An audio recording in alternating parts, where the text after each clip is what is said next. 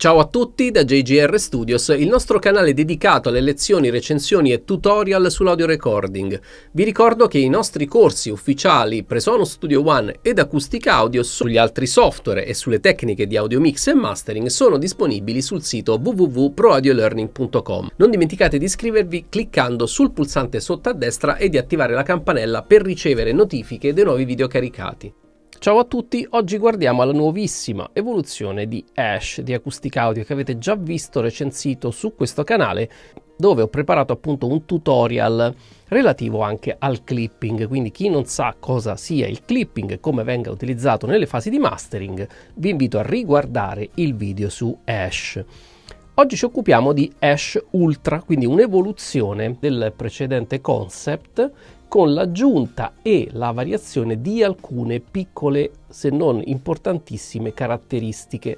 Come molti sanno, la grande, grande differenza tra un convertitore outboard che si occupa appunto anche delle fasi di clipping e un software è normalmente e oggettivamente racchiuso nell'ambito dell'anti-aliasing, quindi quella fastidiosa enfatizzazione e modifica delle frequenze alte ed altissime che si avverte appunto a causa di una manipolazione attraverso i plugin.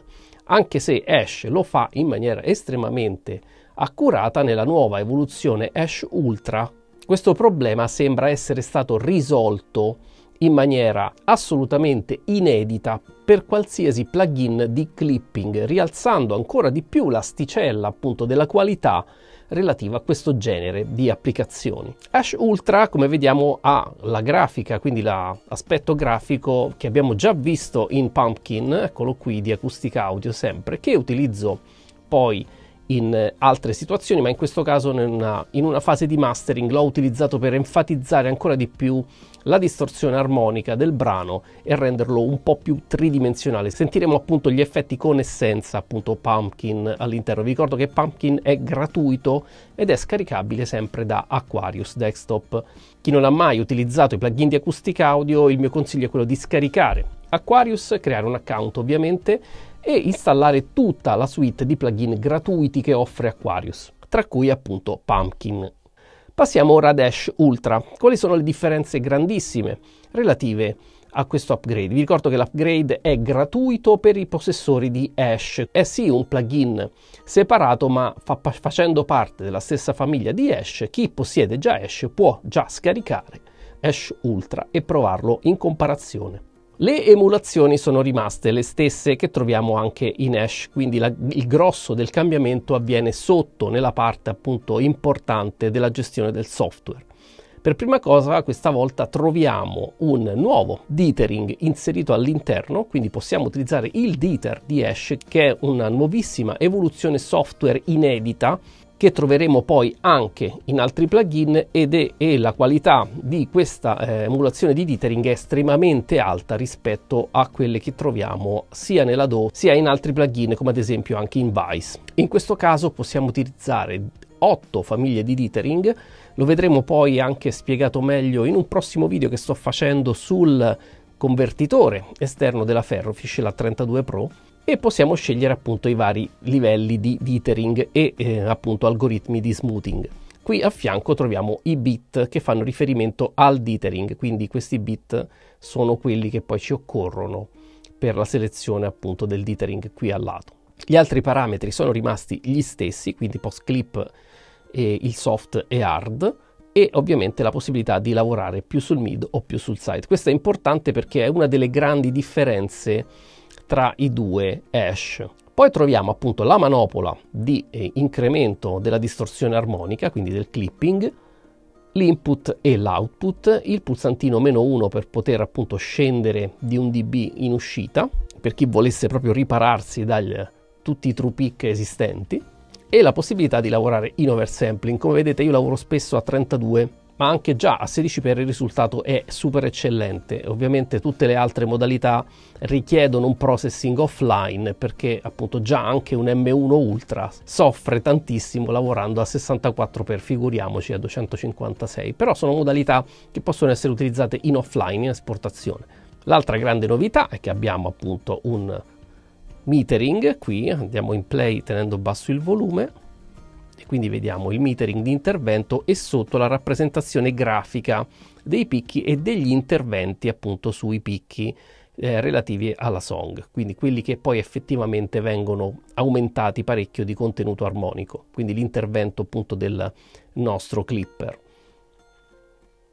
Sotto la funzione 4x, qualora volessimo incrementare velocemente di 4 volte l'intervento della manopola, se non fosse necessaria, e l'auto gain che non uso perché non amo questo genere di applicazione, ma è utile per sentire appunto il livello di eh, intervento del clipping senza avvertire il livello di uscita del volume.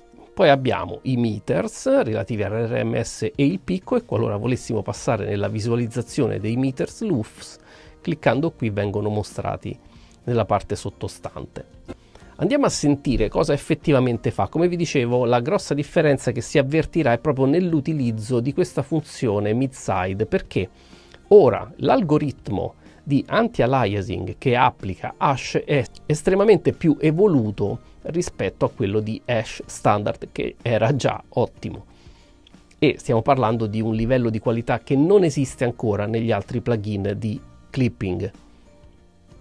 Questo comporta un cambiamento che adesso ascolteremo all'interno di questa traccia che ho da poco arrangiato dove appunto eh, normalmente applicando hash sono costretto a muovermi più sull'intervento del side perché l'anti-aliasing coinvolgendo il segnale stereo lo destabilizza leggermente. Questo è un fattore che, ha, mm, norma- che normalmente può essere compensato, come vediamo, ma che fa la grossa differenza tra i clipper all'interno dell'immagine stereo. Eh, chi ovviamente missa più eh, EDM o dance o brani più monofonici, questo fattore diciamo diventa quasi irrilevante, però chi lavora nel pop, lavora sui riverberi e appunto anche su cose più sinfoniche si accorge subito di questo tipo di eh, intervento che avviene eh, che viene attuato dal clipper. Infatti tanti clipper danno una sensazione più stereofonica rispetto al normale. Andiamo adesso in play e ascoltiamo appunto l'intervento che fa Ash sull'immagine stereo. Eh, facciamo caso al fatto che le chitarre una volta che Ash, soprattutto le chitarre perché le chitarre riverberi sono molto sul side in questo caso, eh, vengono un po' penalizzate dall'utilizzo del clipper.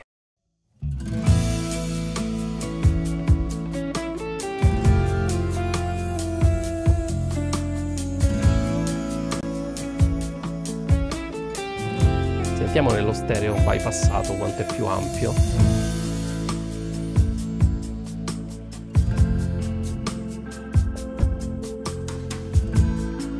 E si restringe leggermente l'immagine stereo. Possiamo riguadagnare questo fattore spostandoci.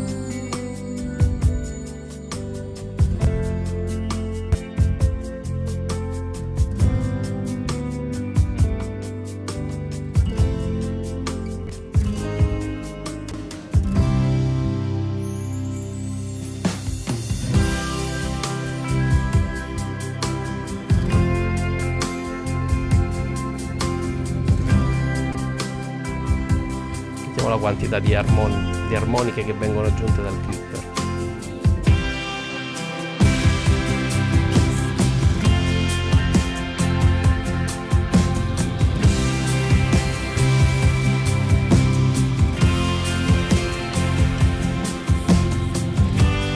Andiamo ora ad ascoltare la stessa identica cosa utilizzando Ash Ultra.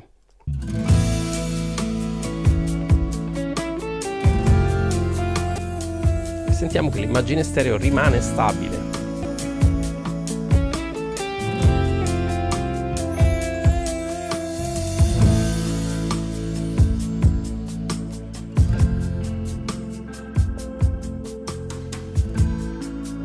Aumenta il contenuto armonico e l'immagine stereo rimane ferma.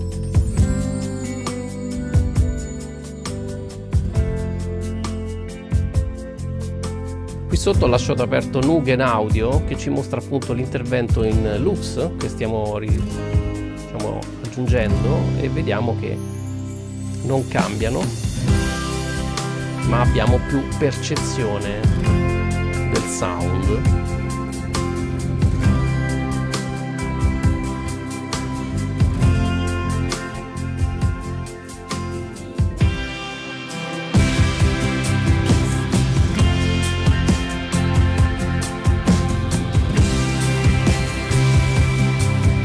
facendo anche un paragone con la piattaforma di streaming, in questo caso la CC di Apple. Abbiamo una compensazione veramente minima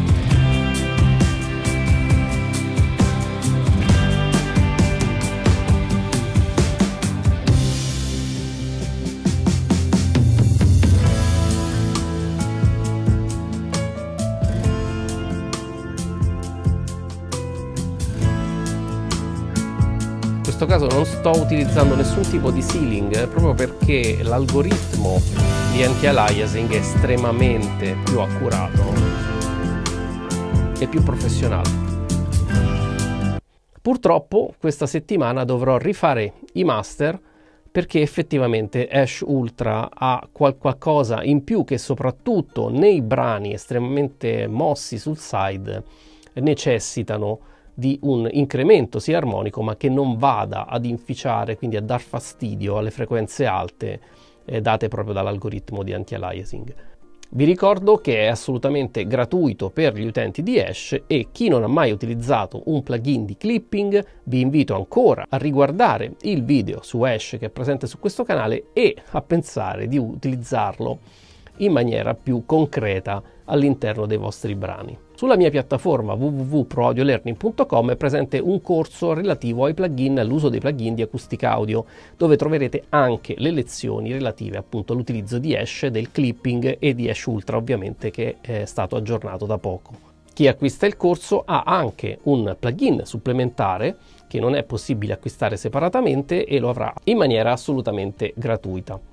Il mio consiglio è scaricate subito la demo e provatelo perché è qualcosa di incredibilmente efficace. Per il momento è tutto, ciao a presto. Spero che questa lezione vi sia stata utile, vi aspetto ai miei seminari, al corso professionale presso il mio studio e nei corsi online sul sito www.proaudiolearning.com. Affronteremo i vostri mix insieme e li finalizzeremo nelle fasi di mastering. Per gli iscritti ai corsi sono disponibili inoltre plugin e librerie gratuite oltre ai nuovi video esclusivi ogni mese. Continuate a seguirmi su Facebook, YouTube e Music Off. Non dimenticate inoltre di supportare queste lezioni gratuite attraverso il canale Patreon che trovate in descrizione. Se il video vi è piaciuto cliccate subscribe e attivate la campanella, questo mi aiuta a far crescere il canale. Per il momento è tutto, ciao a presto!